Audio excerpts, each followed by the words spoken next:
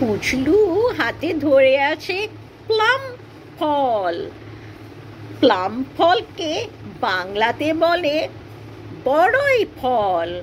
এক ধাঁচু কুলের মতন। ভেতরে একটা শক্ত বিচি আছে।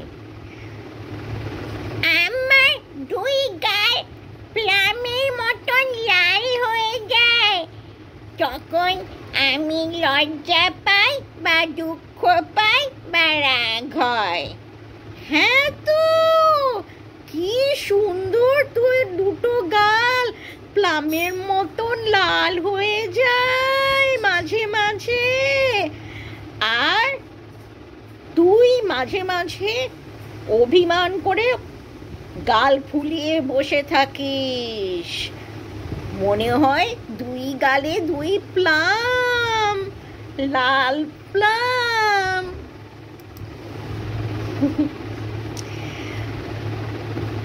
এই প্লামের রং হচ্ছে লাল, রেড। এই প্লাম খেতে মিষ্টি মিষ্টি মানে সুইট। শুধু যে মিষ্টি তা নয়, এই প্লাম সাওয়ারও, টক। সুইট, সাওয়ার দুটোই, মিষ্টি আর টক।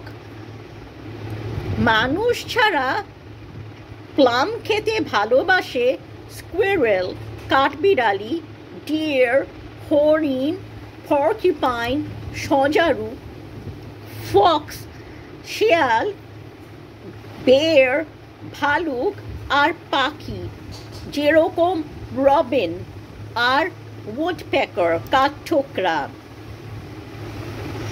এই প্লামে অনেক ভিটামিন আছে।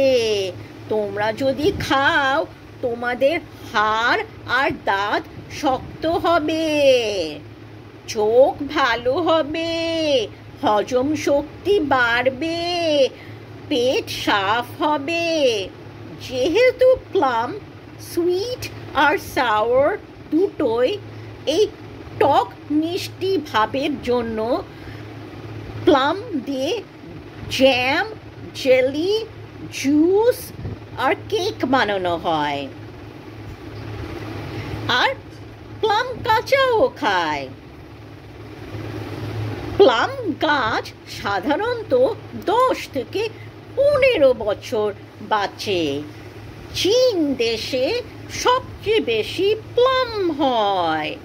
আর চায়না চীন দেশে মনে করা হয় যে প্লাম খেলে ভাগ্য আরও ভালো হয়।